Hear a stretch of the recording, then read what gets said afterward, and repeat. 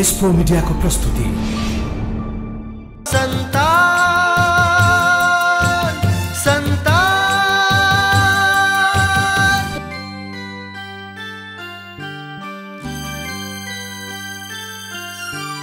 थरी थरीका कर्म लिएर सन्तानहरू आउँछन्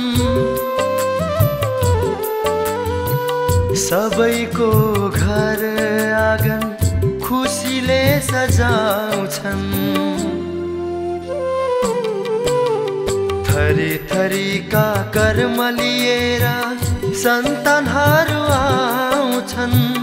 सबैको घर आँगन खुसीले सजाउँछन्। सुख सयल हुँदा पनि जल्दो रहेछ यो मन। प्यारो हुन्छ सबैलाई। आफ्नो आफ्नो सन्तान सन्तान सन्तान। मलाई त कस्तो डर लागिरहेछ। किन? आमा बुवाले मलाई भित्राउनु भएन भने? म पनि। तिमीसँग बाहिरै बस्छुला मतलब मतलब उनी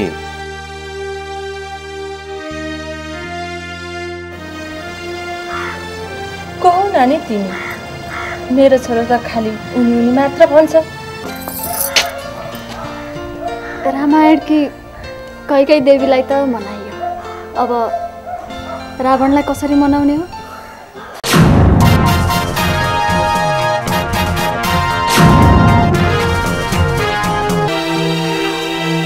ल ल भयो अनि को हो नि म?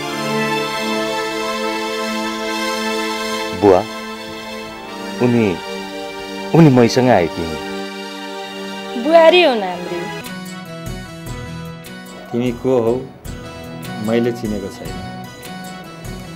तिमी जो भए पनि जसकी छोरी भए पनि अब यो घरमा बुहारी बनेर आएकी छौ। फेरि छोरी नभएको यो घरमा तिमी त हाम्रो लागि छोरीको रूपमा आएकी छौ।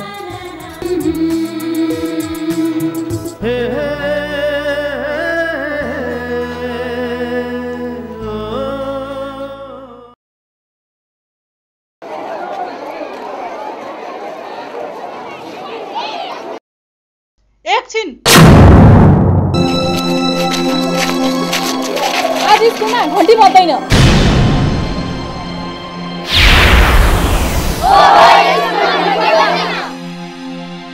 के भयो के को हल्ला हो यो सायद तपाईँलाई थाहा छैन होला हिजोको घटना? के भएर? तिमीहरू कसको विरोध गर्दैछौ? हामी भवानी देव सरको विरोध गर्दैछौँ सर। तिमीहरू भवानी सरको विरोध किन गरिरहेछौ? कल्पनालाई सोध्नुहोस्। कल्पना? के भयो भन त? जबसम्म उहाँलाई यो स्कुलबाट रेस्टिकेट गरिँदैन तबसम्म यो स्कुलमा घन्टी बज्दैन।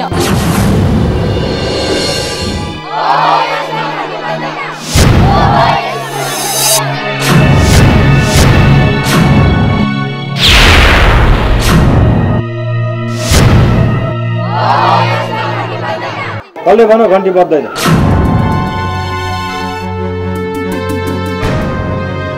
हँ? किन बज्दैन घन्टी?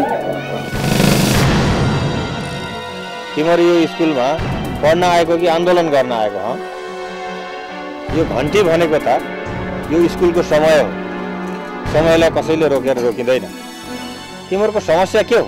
सर हिजो स्कुलको लास्ट पिरियडमा भवानी देव सरले मलाई एक्लो पारेर मेरो कान टोकिदिनु भयो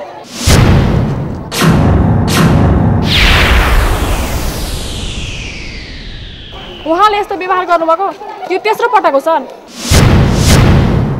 दोस्रो पटकसम्म त सहेँ तर पटक पटक त्यस्तो गर्न थालेपछि म कसरी सौँ सर? भन्नु सर। गुरुले नै यस्तो व्यवहार गर्न थालेपछि हामी यो स्कुलमा पढेर हाम्रो भविष्य के होला? उहाँलाई रेस्टिकेट नगरेसम्म हामी क्लासमा बस्दैनौँ सर।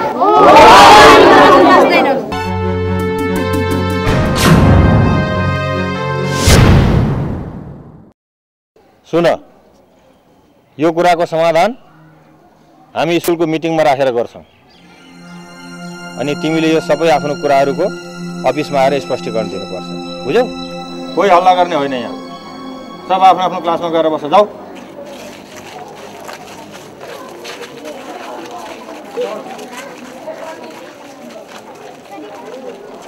घन्टी बजाऊ।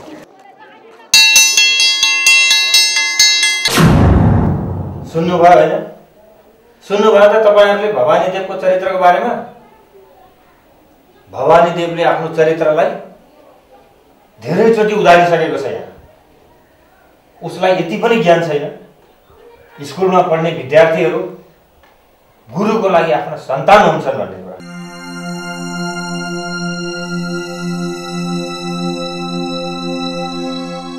हो यो स्कुल उसको बुवाले बनाइदिएको। उहाँले यो स्कुल बनाइदिएर हामीलाई सहयोग गर्नु भएको छ सरकारलाई सहयोग गर्नु भएको छ र हामीले उहाँलाई इज्जत गर्नुपर्छ। र गरेका पनि छौँ। तर बुवाले बनाइदिएको स्कुलको आडमा उसले यो स्कुलमा अनुशासनहीन काम गर्छ भने म मान्नेवाला छैन। तपाईँहरू चाहिँ किन बोल्नुहुन्न? र अझै पनि उसलाई कारवाही गर्नुपर्छ भनेर किन भन्नुहुन्न? सर यो कुराको निर्णय गर्न सञ्चालक समितिमा राख्नुपर्छ। सञ्चालक समितिले नै यस कुराको निर्णय गर्छ। किनभने आज धेरै सरहरू पनि आउनु भएको छैन। फेरि सरहरूबाट यो निर्णय होला भन्ने मलाई लाग्दैन। घडी हेर्नुहोस् त। दस बजेर पच्चिस मिनट भइसक्यो। अहिलेसम्म आइपुगेको छैन।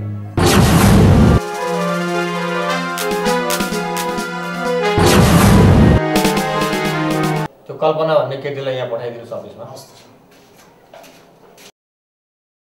भवानी देवलाई थाहा भइसक्यो। स्कुलमा उसको विरोध भएको। अब हेर्नुहोस् भवानी देव आज स्कुलै आउँदैन। कसले भन्यो?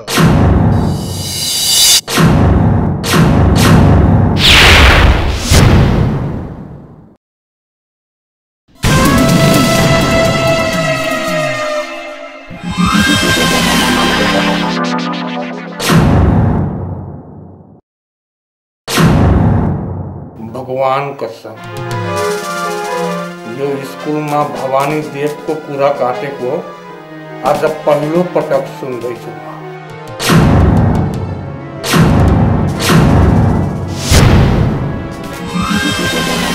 नमस्ते सर। दुकान व्यापार सबै मिलाएर आउँदा ढिलो भयो फेरि आज जहाँ पान खान्थे त्यहाँ यति भिड बल्ल बल्ल पान बनाएर दियो। आउँदा आउँदा ढिलो भइहाल्यो। एकछिन।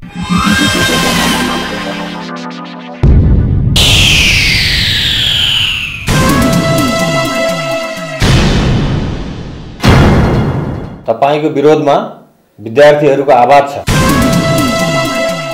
म तपाईँलाई एउटा प्रश्न सोध्दैछु भवानी देव सर। जुन आवाज विद्यार्थीहरूले उठाए त्यो सही हो या गलत। यो विषयमा आवाज उठेको हो। त्यो मलाई नै थाहा छैन भने मेरो मुखले कसरी बोल्छ? हाँ हेड सर? अनि फेरि तपाईँको कानले कसरी सुन्छ?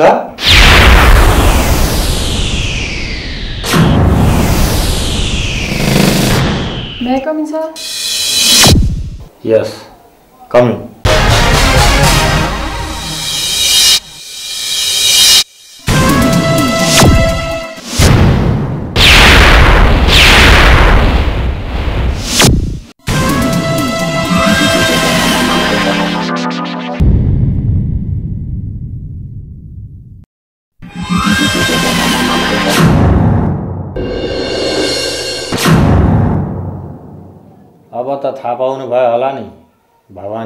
sir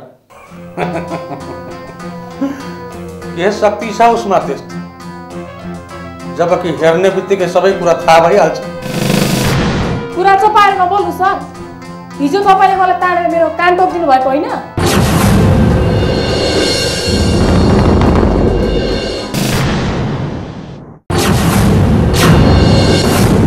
एक पटक होइन दुई पटक होइन तिन तिन पटक भइसक्यो उहाँले ममा त्यस्तो व्यवहार गरेको यही कारण सर उहाँले टोक्नु भएको। सर मैले त्यस्तो गर्ने भए यो केटीको कानमा किन टोक्थेँ?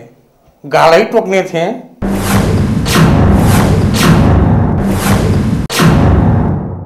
टोक्नको लागि कानभन्दा त गालै राम्रो हुन्छ नि होइन र सर? आवेशमा नआउनुहोस् है सर। धेरै आवेशमा कहिल्यै नआउनुहोस्। कुरा बुझेर मात्र बोल्ने गर्नुहोस् हेड सर। मैले यो केटीको कान टोकेको भए उसको कानमा कुनै दाग त हुन्थ्यो होला नि? देखाउन लगाउनुहोस् यो केटीको कानमा दाग। कुनै प्रमाण छ? तपाईँले देख्नु भएको छ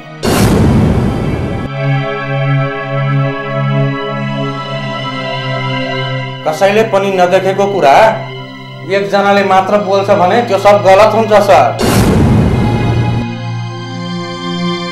सबै विद्यार्थी बाहिर निस्केर गएपछि मलाई मात्र एक्लो पारेर मेरो कान टोकेपछि अरू कसले देख्छ त सर? यो केटी गलत बोल्दैछ सर। यो केटी बिल्कुल गलत बोल्दैछ।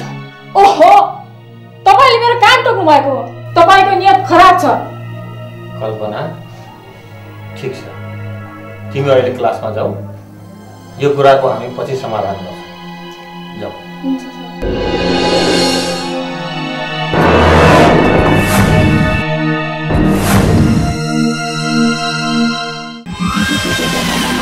यो केटी पागल छ सर।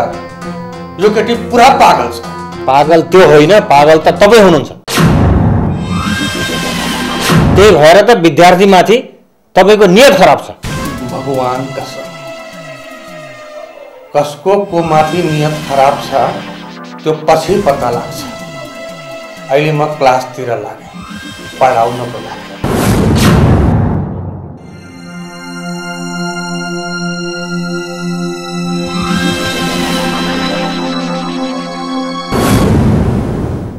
जानुहोस्।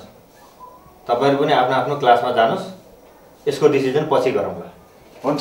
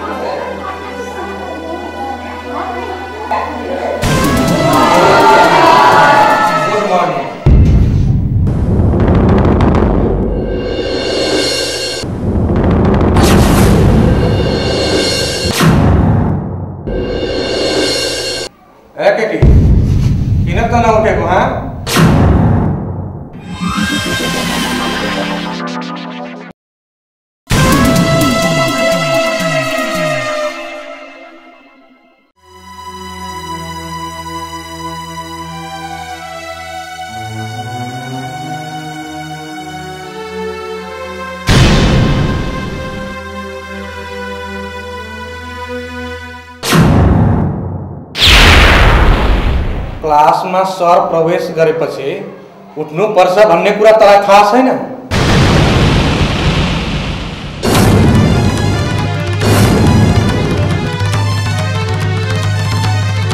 अब सुन तिमीहरू यो केटीले मेरो बारेमा हेड सरलाई यो कम्प्लेन गरेकी छ कि उसको मैले कान टोके अब तिमीहरू आफै भन म त्यस्तो कान टोक्ने शिक्षक हुँ?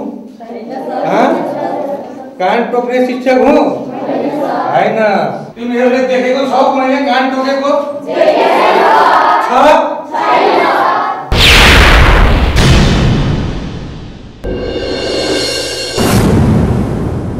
पागल छ यो केटी। मलाई त लाग्दैछ यो केटी म माथि कुनै षड्यन्त्र रचिरहेकी छ। ए केटी भान। म माथि तेरो के षड्यन्त्र छ? जवानी चढ्यो भन्दैमा एउटा शिक्षक माथि गलत आरोप लगाउँछस् त अरे जवानी कसलाई चढ्दैन? सबलाई चढ्छ। तैँले त मेरो खुब बेइज्जत गरिस् रे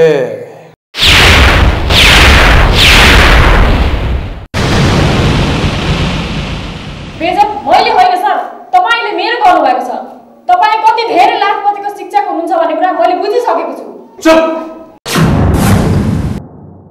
आरोप लगाउँछस् मलाई? अहिले कपालमा समातेर बाहिर फालिदिन्छु तपाईँ जस्तो चरित्रहीन शिक्षकले पढाएको क्लासमा मलाई बस्नु छैन। जुन गुरुमा अनुशासन छैन त्यो गुरुले आफ्ना चेलालाई के ज्ञान देला पहिला तपाईँ आफ्नो अनुशासन सुधार्नुहोस् अनि आउने क्लासमा पढाउनुहोस्।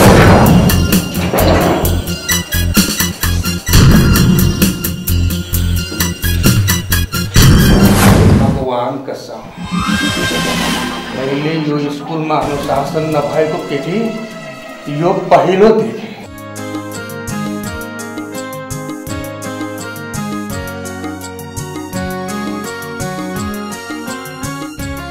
नमस्कार भाउजू। के छ सुशील बाबु? काठमाडौँबाटै सुटुक्क बिहे गरेर ल्याउनु भयो नि। गाउँ छिमेकीलाई भोज खुवाउनु पर्छ भनेर हो। त्यसो होइन भाउजू। काठमाडौँ बसेपछि उतै केटीसँग मन मिल्यो त्यसैले उतै बिहे गरेँ बिहा उतैतिर गरे पनि भोज त खुवाउनु पर्यो नि सुशील बाबु। फेरि हेड सरको एक्लो छोरो भोज पाएन भनेर गीत जाउला नै। फेरि सुशील बाबु पनि त कमाउने मान्छे लाज होला इलाज त्यसो हुँदैन भाउजू। हामी निम्तो पठाउँछौँ। दुलै चाहिँ हेरेरै ल्याउनु भएछ नि असाध्यै राम्री। प्रेम गरेर ल्याएको चिज पनि नराम्रो भयो भने त्यसको अर्थ अर्कै लाग्ला नि भाउजू बधाई छ सुशील बाबु बधाई छ भोज चाहिँ चाँडै खुवाउनु होला हस् त हामी गयौँ।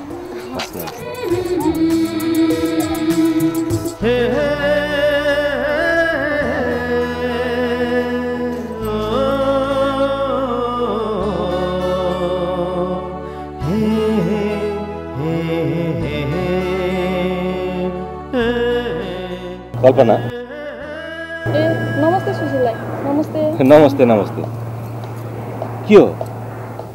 स्कुल छुट्टी हुने बेला त भएको छैन। भागेर आयो कि क्या हो? होइन सुशील दाई स्कुलमा अनुशासनहीन सरहरूले पढाउन थालेपछि क्लासमा के बस्नु भनेर हिँडे कि गुरुहरूकै अनुशासन नभएको स्कुलमा चेलाहरूले कस्तो शिक्षा पाउलान्? भन्नुहोस् त दाई। किन? के भएर कल्पना? तिमी कुन शिक्षकको अनुशासनको कुरा गर्दैछौ? तिमी त बुवाले पढाउने स्कुलमा पढ्ने होइन हो सुशील दाई उहाँ हेड सर भनेर के गर्नु? गलत काम गर्ने शिक्षकलाई सजाय दिन सक्नुहुन्न? एउटा शिक्षकले म माथि गलत व्यवहार गरिदियो। उसले मेरो जबरजस्ती कान टोकिदियो।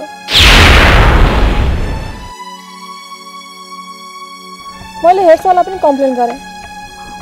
तर पनि उसलाई सजाय भएन। उहाँ सजाय दिन डराउनुहुन्छ। त्यस्तो स्कुलमा कसरी पढ्ने? भन्नुहोस् त दाई। हाम्रो चाहिँ के? भविष्य छैन। त्यस्तो स्कुलमा पढेर हाम्रो भविष्य कस्तो होला? भन्नुहोस् त सुशीललाई सुन। तिमीलाई कान टोक्ने सरको नाम। के हो? भवानी देव।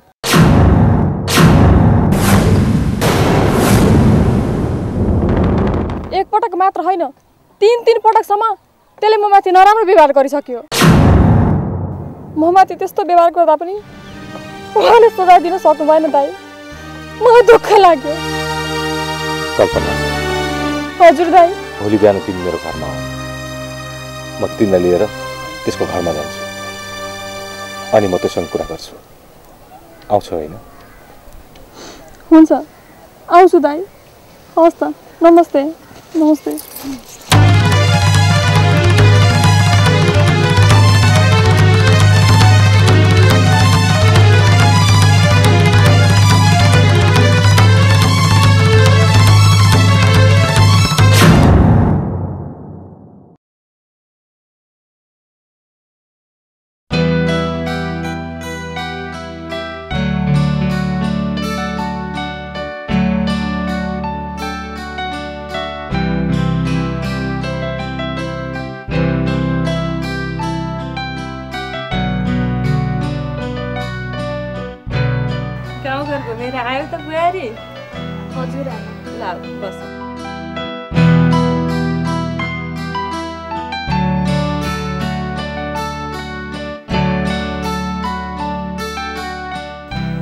लाग्यो त बुहारी हाम्रो गाउँघर। असाध्यै रमाइलो लाग्यो आमा। सधैँ घुमिरहँ जस्तो। अब बस्दै गएपछि सबैसँग परिचय हुँदै जान्छ। अनि त झनै रमाइलो लाग्छ यो गाउँघर। हजुर आमा। सबैले उहाँलाई विवाहको भोज कहिले खुवाउने भनेर कम्ती चिस्क्याएका होइनन्। दुई तिन दिनमा खुवाउने। तपाईँहरू सबैलाई निम्तो पठाउँछु। भनिनौ त। उहाँले भन्नुभयो। आमा हजुरले चिया नास्ता लिनुभयो? छैन। एक्लै खानै मन लागेन। हामीहरूले त खाएर आयौँ। म हजुरको लागि चिया नास्ता लिएर आउँछु।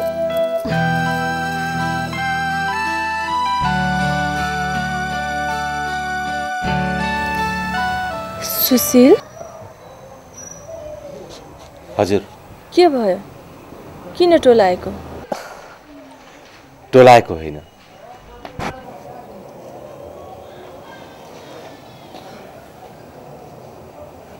आमा त्यो भवानी देवले अझै स्कुलमा पढाइरहेको छ।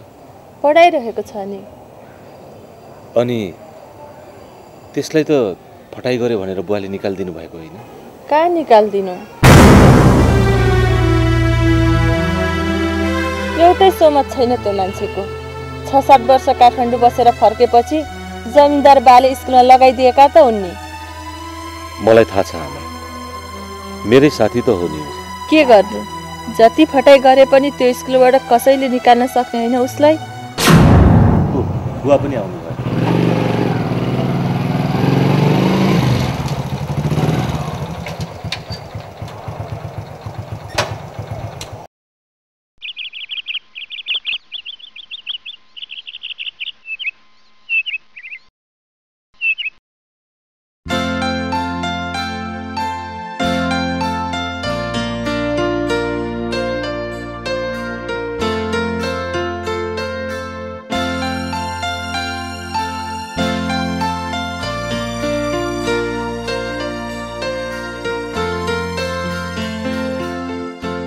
बुवा चिया ल्यायो बुहारी तिमीले त हाम्रो बानी नै बिगारिदिने भयो। कुनै दिन यो घर छोडेर तिमी बाहिर गयो भने हामीलाई त यो घरमा बस्नै मन लाग्दैन होला। तिम्री सासु आमाले यस्तो सेवा कहिले गर्न सकिनन्? मैले सेवा नगरेको यत्रो वर्ष कसले गर्यो होला त नि? त्यसै अर्कालाई भन्ने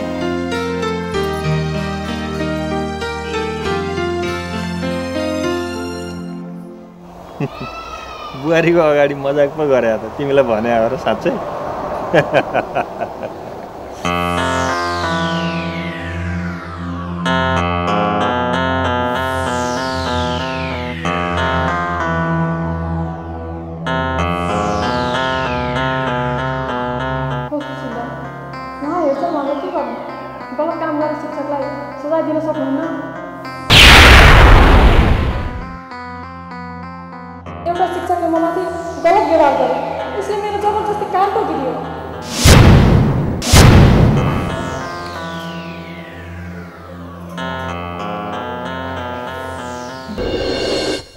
सरलाई पनि कम्प्लेन गरेँ।